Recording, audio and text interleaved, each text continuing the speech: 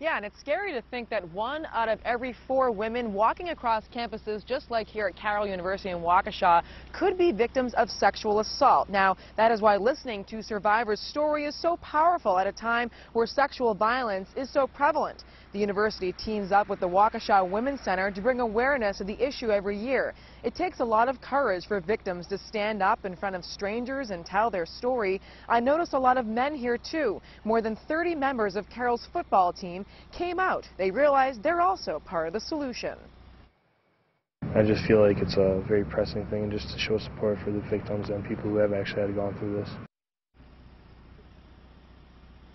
Now, coming up tonight at 10:30, I spoke with a student here at Carroll whose family members were victims of domestic violence. She says she was very touched by tonight's vigil. We're live in Waukesha tonight. Christina Palladino, WISN 12 News.